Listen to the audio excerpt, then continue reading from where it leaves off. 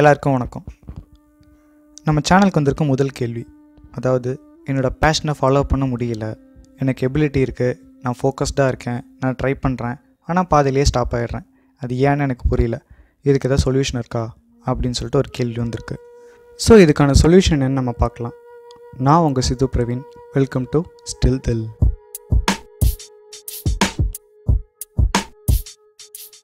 முதல்ல இதுக்கான ரீசன்ஸ் என்னன்னு சொல்லி பார்க்கலாம்.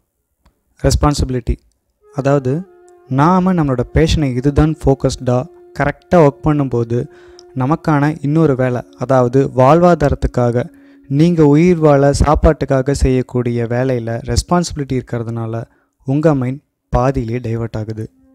Then distraction money love unsatisfaction work stress இந்த மாதிரி பல டிஸ்ட்ராக்ஷனில் நம்ம மைண்ட் ஆட்டோமேட்டிக்காக டைவெர்ட் ஆகுது. அடுத்ததாக கம்பேரிசன் நீங்கள் அவங்க பக்கத்தில் இருக்கணும் கம்பேரிசன் பண்ணுறது அதாவது நானும் அவனும் ஒட்டுக்காக தான் ஆரம்பித்தோம் அவன் மட்டும் மடமடன் மேலே வந்துட்டான். நான் அப்படியே தான் இருக்கேன். அவனுக்கு என்னப்பா? அவங்க அப்பா பணம் கொடுத்துட்டாரு. அதனால் அவன் மேலே வந்துட்டான். இவனுக்கு என்னப்பா? அந்த தொழிலில் தான் படிச்சிருக்கான். அதனால் வந்திருக்கு. எனக்கு வெறும் இது பேஷன் தானே? அப்படின்னு கம்பேர் பண்ணி நம்மளை நாமளே மட்டம் தட்டிக்கிறது தான் எங்கள் பெரிய ரீசன் அடுத்தது இன்னொன்று சரி ஓகே இது எல்லாமே வந்துட்டு நான் இது வேறு வேலையில் இருக்கிறதுனால டிஸ்ட்ராக்ஷன் ஆகிறேன் வேறு ஏதோ டிப்ரெஷனில் இருக்கிறதுனால நான் இதெல்லாம் டைவர்ட் பண்ணிக்கிறேன் அப்படின்னு சொல்லி நம்ம ஒரு ரீசனாக சொல்லலாம். எனக்கு வந்துட்டு இது மட்டும்தான் வேலை. என்னுடைய பேஷன் மட்டும்தான் எனக்கு வேலை. வேறு எதுவுமே வேலை இல்லை. இதில் மட்டும்தான் நான் ஃபோக்கஸ்டாக இருக்கேன். ஆனால் என்னால் ஃபாலோ பண்ண முடியல. ஏன் அப்படின்னா லேர்னிங் இல்லை.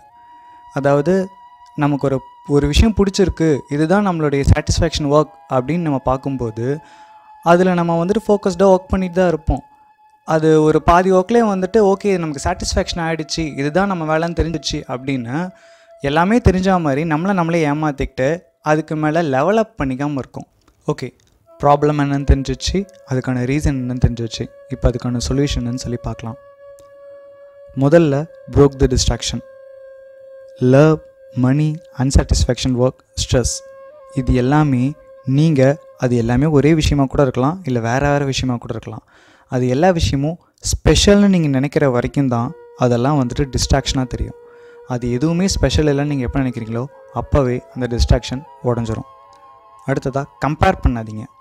இங்கே யாருமே யா எந்த ஒரு விஷயத்துலையுமே யாருமே ஸ்பெஷல் கிடையாது. நீங்கள் நீங்களே முதல்ல ஸ்பெஷல் கிடையாது அப்படின்னு நீங்கள் நினச்சிக்கிட்டு உங்கள் வேலையில் மட்டுமே நீங்கள் கான்சன்ட்ரேஷன் பண்ணீங்க அப்படின்னா நீங்கள் நீங்கள் மட்டும்தான் நிஜம். உங்கள் வேலை உங்கள் வேலை மட்டும்தான் நிஜம். அப்படின்னு நீங்கள் நினச்சி நீங்கள் பண்ணும்போது ஆட்டோமேட்டிக்காக அந்த கம்பேரிசனும் உடஞ்சிரும்.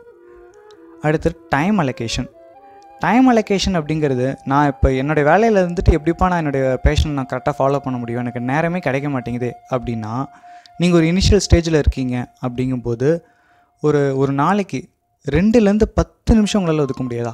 ரெண்டுலேருந்து பத்து நிமிஷம்.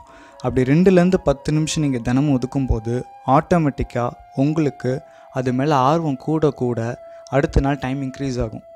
டைம் இன்க்ரீஸ் ஆகும்போது உங்களுக்கு தெரியாத விஷயங்கள் நீங்களே கற்றுக்கிட்டு அந்த வேலையில் நீங்கள் ஃபோக்கஸ்டாக இருப்பீங்க. கரெக்டாக உங்களோட பேஷன் இதில் ஃபாலோ ஆகும்னு சொல்லிவிட்டு இன்றைக்கி வீடியோவை நான் முடிச்சுக்கிறேன்.